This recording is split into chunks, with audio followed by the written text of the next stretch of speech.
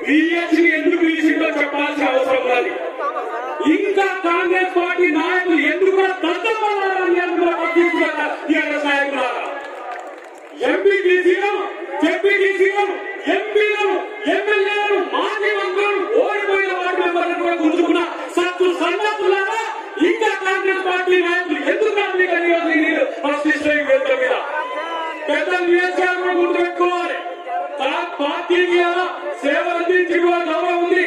Press meet తర్వాత కలవడానికి అయ్యా ఏమైనా ఉంటే గాంధీ భవన్ మాట్లాడుకుందాం.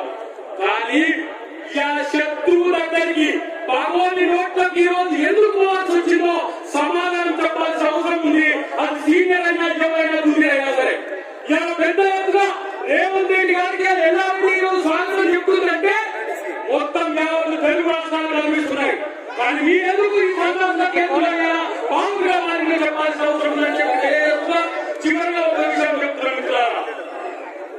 టిఆర్ఎస్ పార్టీ రాష్ట్రంలో చచ్చింది మనం అధికారంలో రాబోతున్నామని తెలిసి గులాబోడు కమలంబోడు ఆడవాడు నడుపుతున్నారు రేపు కాంగ్రెస్ పార్టీ అధికారంలోకి వస్తే వాళ్ళ యొక్క అవినీతిని బయట పెట్టడం వాళ్ళని బొద్దల కోసం రేవంత్ రెడ్డి ఉద్దేశంతోనే ఇలా వాళ్ళు ఆడుతున్న ఆటగాన్ని మనం తెరలేపాల్సిన అవసరం ఉంది.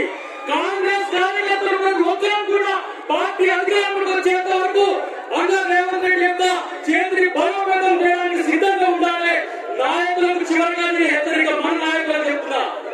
మేము త్యాగాలు చేసి పార్టీ కొరకు కొట్లాడుతున్నాం రా సన్నాసులా. త్యాగాలు చేసి కార్యకర్తలు కేసులు పెట్టుకొని ఒక్కొక్కరు పోలీసులతో అందరితో కేసులు పెట్టుకొని క్షేత్రంగా బాధపడుతుంటే ఈ తగులుబాజీ టీఆర్ఎస్ నాయకులు పక్కోని కాడ ఏముందని పోతున్నారు మీరు చెప్పాల్సిన అవసరం ఉన్నది.